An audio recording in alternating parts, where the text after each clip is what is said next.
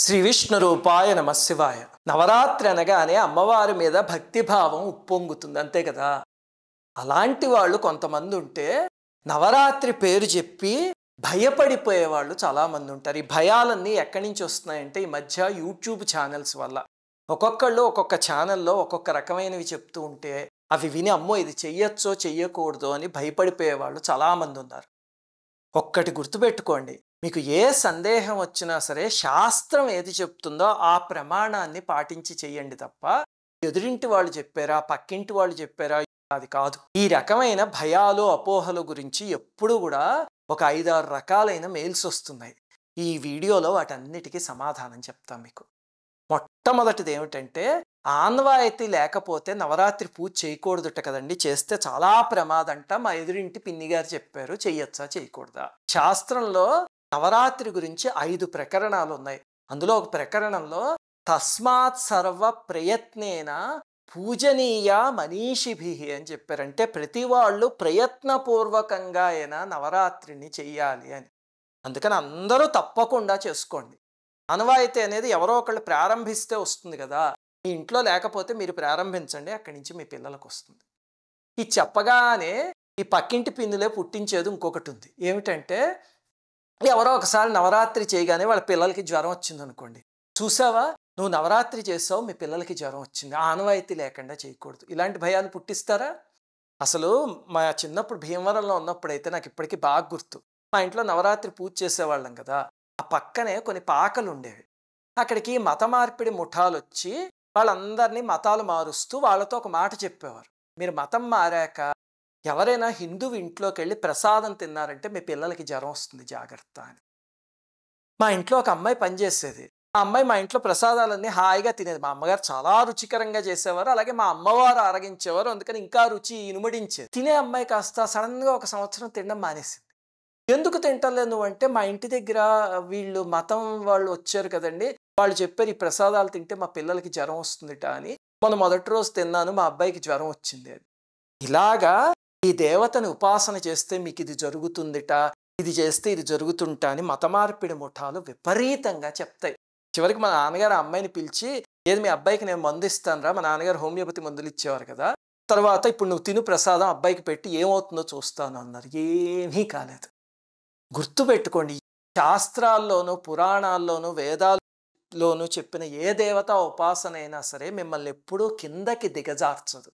అలాగా దిగజారుస్తుంది అని ఎవరైనా చెప్తున్నారు అంటే వాళ్ళు మతమార్పిడి ముఠాలు మీ అమాయకత్వాన్ని క్యాష్ చేసుకుని భయపెడుతున్నారు అని అర్థం.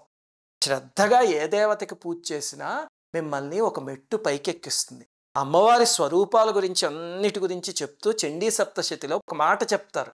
సర్వభూతోపకారకం అని. అంటే ఈ పూజ అన్ని జీవులకి ఉపయోగపడుతుంది అని. అది గుర్తుపెట్టుకోండి. మరి అయితే ఇలా భయపెట్టే వాళ్ళు ఎందుకు భయపెడతారండి అంటే అదే కలి ప్రభావం. అందరం కలిసి పూజ చేసామనుకోండి కొన్ని లక్షల మంది చేశారనుకోండి ఆ జాతి మారుతుంది. ఇంకా కోట్ల మంది చేస్తే దేశాన్ని కూడా మార్చే శక్తి పూజ ఉంటుకుంటుంది కానీ కలిపురుషుడికి అది ఇష్టం ఉండదు ఎప్పుడూ ఎలా వెనక్కి లాగేద్దామా చూస్తాడు. అతను ఏం చేస్తాడంటే కొంతమందిని ప్రేరేపించి వాళ్ళ చేత ఇలాంటి భయాలు పుట్టిస్తాడు. నమ్మకండి. ఆనవాయితీ లేదు ఏమీ లేదు. హాయిగా చేసుకోండి. మీ పిల్లాడికి వచ్చే జ్వరానికిను దీనికి సంబంధం లేదు. చిన్నప్పటి నుంచి ఎన్నోసార్లు జ్వరం వచ్చే ఉంటుంది. అంతేనా? సరే ఇంక రెండవది ఏమిటంటే ఏమండి ఆ పూజలో అమ్మవారి విగ్రహం పెట్టుకోకూడదుట కదా? ఏం పెట్టుకోవాలి చివరికి? పూజలో అన్నిటికన్నా ఉత్తమం పటం పెట్టుకు చేయడం. ఇంత చిన్నదైనా ఇంత పెద్దదైనా పటం అయితే మీ ఇష్టం పెట్టుకోవచ్చు. అందుకే మన డెమో పూజలన్నీ చూస్తే మీరు సామాన్యంగా పటాలతోనే ఉంటాయి. మరి అయితే విగ్రహం పెట్టుకోకూడదా? అంటే శాస్త్ర ప్రకారం అంగుష్ట మాత్రమైన విగ్రహం పెట్టుకోవచ్చు. అంటే పెద్దవి పెట్టుకోకూడదా? పెట్టుకోవచ్చు. కానీ దాన్ని మెయింటైన్ చేసేంత పూజ నైవేద్యం అవన్నీ పెట్టాలి. ఇప్పుడు మా ఇంట్లో ఇంత సరస్వతీదేవి ఇంత లక్ష్మీదేవి ఉన్నారు. మేము హాయిగా ఆరాధించుకుంటాం రోజు ఎందుకంటే దానికి సరిపోయే పూజ ఆచారం అవన్నీ పాటిస్తాం. అలాంటివి లేనప్పుడు పటంతో అయితే ఎవరైనా చేసుకోవచ్చు. ఏ కులం వాళ్ళైనా ఎవరైనా దానికి పెద్ద పెద్దగా ఆచారాలు నియమాలు ఏమీ లేవు. పటం పెట్టుకు చేసుకోవచ్చు. శ్రీచక్రం పెట్టుకోవచ్చా అండి. శ్రీచక్రానికైతే విగ్రహం కన్నా ఎక్కువ నియమాలు ఉన్నాయి. అవన్నీ పాటించే వాళ్ళు అయితే పెట్టుకోవాలి. మీ ఇంట్లో అలవాటు ఉందనుకోండి మొట్టమొదటి నుంచి శ్రీచక్రార్చన. మా ఇంట్లో శ్రీచక్రం ఉంది. కాంచీపురం నుంచి వచ్చింది చాలా విచిత్రంగా మా అమ్మాయికి. అప్పటి నుంచి మేము చేసుకుంటున్నాం. హాయిగా మోర కమ్మలా చూసుకుంటున్నారు మమ్మల్ని. అలా అలవాటు ఉంటే చేసుకోండి తప్ప శ్రీచక్రం లేకపోతే శ్రీచక్రాల జోలికి వెళ్ళక్కలే పటం పెట్టుకు చేసుకోవచ్చు. ఇంకా మూడవది ఏ రూపంలో ఉన్న అమ్మవారిని పూజించాలండి? అంటే లలితా పరమేశ్వరిని పూజించాలా? దుర్గాదేవిని పూజించాలా? లక్ష్మీదేవిన? సరస్వతీదేవిన? కాళికాదేవ? ఒక రూపాన్ని పూజిస్తే ఇంకొక రూపానికి కోపం వస్తుంది? వీళ్ళకి నైవేద్యం పెడితే వాళ్ళు కోపపడతారా? ఇలాంటివి అడుగుతూ ఉంటే అసలు ఎంత బాధేస్తోందో. అంటే దేవతా తత్వం తెలియకుండా ఎంతసేపు అజ్ఞానంలో చేసే పూజల వల్ల ఇటువంటి సందేహాలు వస్తాయి ఒక మాట అంటారు. విద్యాప్రదాన సమయే శరదిందు శుభ్రాం లక్ష్మీ ప్రదాన సమయే నవవిద్రుమాభాం విద్వేష చ తమాల నీలాం దేవీం త్రిలోకజననీం శరణం ప్రపద్యే. అంటే అమ్మా నువ్వు విద్య ఇచ్చేటప్పుడేమో తెల్లటి బట్టలు వేసుకుంటావమ్మా. లక్ష్మీ రూపంలో అనుగ్రహించేటప్పుడు ఎర్రటి బట్టలు వేసుకుంటావు. నా మీద ఎవరైనా శత్రువులు దాడి చేస్తే నన్ను రక్షించేటప్పుడు నల్లటి ఆకారంలో కాళిలా కనిపిస్తావమ్మా ఆ అమ్మవి నువ్వేనమ్మా అని చెప్పేసారు సింపుల్గా చూడండి. ఇది శాస్త్రం తెలిస్తే అప్పుడు మైండ్ ఓపెన్ అవుతుంది. ఇప్పుడు మన అమ్మ ఉంది. అమ్మ ఒకసారి తెల్ల చీర ఒకసారి ఎర్ర చీర ఒకసారి నల్లది ఇంకొకసారి ఆకుపచ్చది కట్టుకుంటే నలుగురు అమ్మలు ఉన్నారు అని అనుకుంటామా అనుకో. ఎందుకంటే ఆ చీర మార్చిన లోపల ఉన్న అమ్మ ఒకటే అని మనకి స్పృహ ఉంది. ఆ స్పృహ ఆధ్యాత్మికతలోనూ రావాలి. ఆ మెట్టు మీదకి ఎక్కాలి. గుర్తుపెట్టుకోండి ఏ దేవతనైనా సాత్వికంగా ఆరాధించినంత కాలం మనకు అభ్యున్నతిని కలిగిస్తుంది. వామాచారం లాంటివి చేస్తే అది పొరపాటు. సాత్వికమైన ఉపాసన చేస్తే కాళికాదేవినైనా లలితాదేవినైనా ఎవరినైనా పూజించుకోవచ్చు. అందరూ ఒకటే.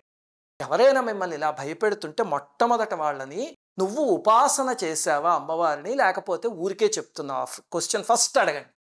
రెండవది నువ్వు చెప్పిన దానికి శాస్త్ర ప్రమాణం చూపించండి అని అడగండి. ఇందులో ప్రతి దేవతా స్వరూపానికి ప్రమాణం ఉంది. సాత్వికమైన ఉపచారం అయితే లలితా సహస్రనామాల్లో చెప్పిన అందరి దేవతా స్వరూపాలకి చేసుకోవచ్చు.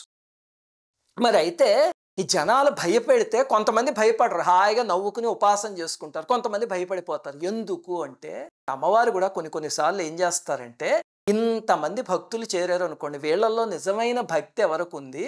లేకపోతే ఊరికే కోరికల కోసం ఎగబడి ఎవరు చేస్తున్నారు అనడానికి ఒక వడపోత కార్యక్రమం చేస్తారు ఇలాంటివి. చేసి ఎవరి ద్వారానో భయపడతారు. భయపెట్టగానే ఈ రిజల్ట్ ఓరియంటెడ్ భక్తులు ఉన్నారు. అంటే చూడండి కింద వీడియోల కింద వచ్చి ఈ పూజ చేస్తే మీకు రిజల్ట్ వచ్చిందా? ఎన్నాళ్ళకి రిజల్ట్ వచ్చింది? అంటారు. రిజల్ట్ రావడానికి అది ఏదైనా ఎక్స్రే తీయించుకోవడమా? ఎంఆర్ఐ స్కాన్ తీయించుకోవడమా? లేకపోతే డయాబెటీస్ బీపీఓ టెస్ట్ చేసుకోవడమా రిజల్ట్ రావడానికి? పూజ భక్తితో చేస్తే కర్మ కరుగుతుంది.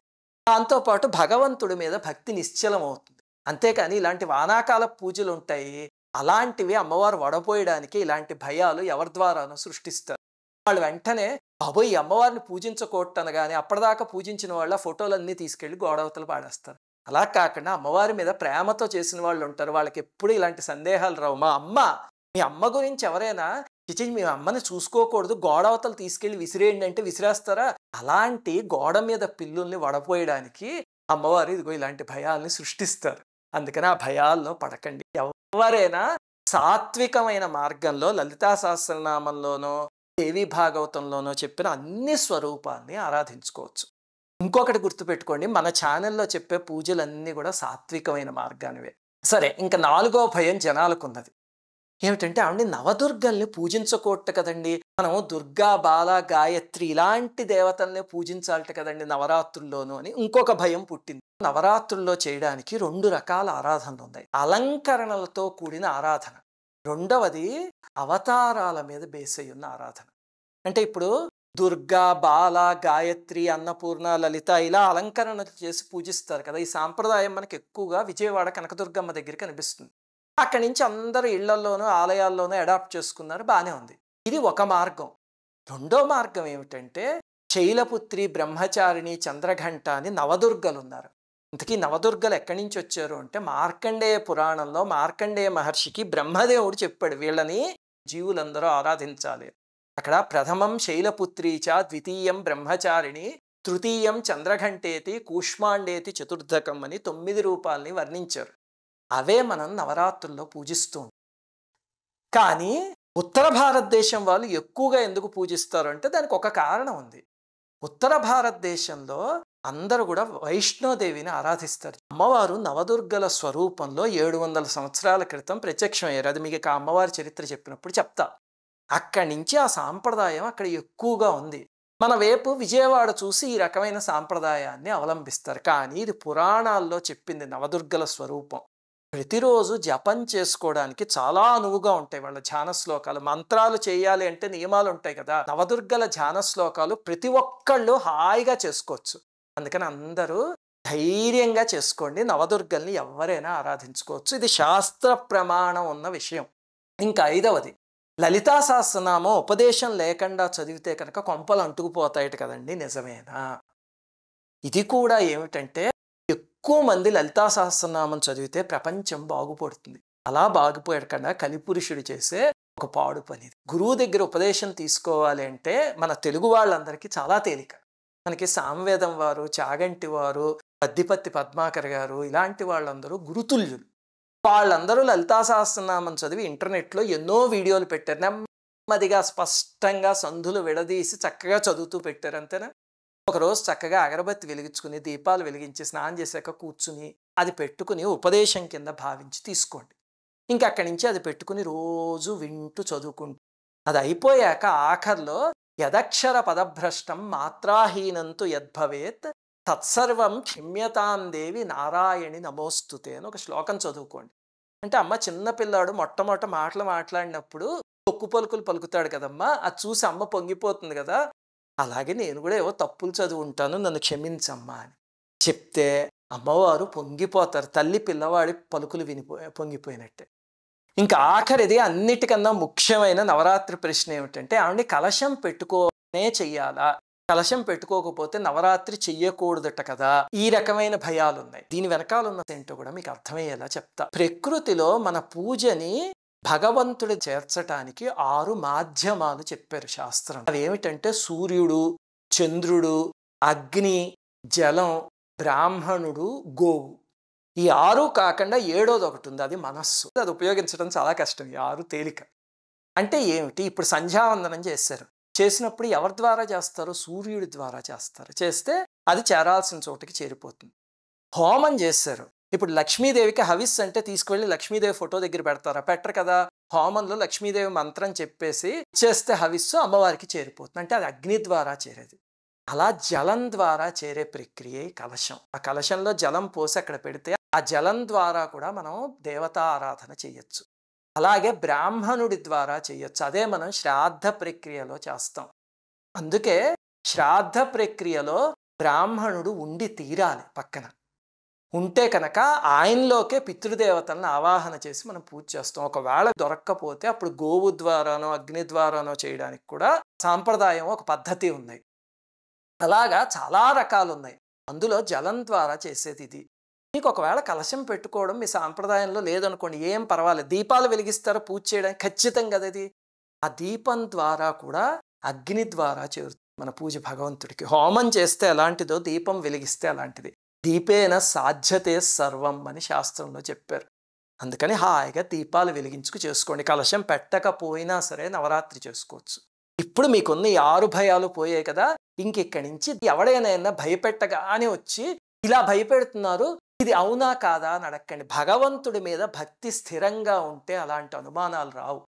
ఆ భక్తి లేకపోతేనే ఇలాంటివి వస్తాయి. ఎప్పుడు కూడా శాస్త్రాన్ని అనుసరించండి. లేకపోతే ఉపాసనా పరులు ఉంటారు. మనకి సామవేదం వారు అలాంటి వారు ఉన్నారు. మనకి ఏదైనా దేవతని పూజించచ్చా? పూజించకూడదా? అని అనుమానం వచ్చిందనుకోండి సామవేదం వారి దేవత గురించి ఏం చెప్పారు అనేది నెట్లో వెతకండి. అది మీకు దొరికిందంటే మీకే సమాధానం దొరుకుతుంది. అలాంటి వాళ్ళని ఉపాసనా పరుల్ని శాస్త్రం తెలుసున్న వాళ్ళని నమ్మండి తప్ప అన్నీ నమ్మి ఆందోళన పడిపోకండి. అమ్మవారిని హాయిగా మనస్ఫూర్తిగా పూజించుకోండి. శ్రీమాత్రే నమ.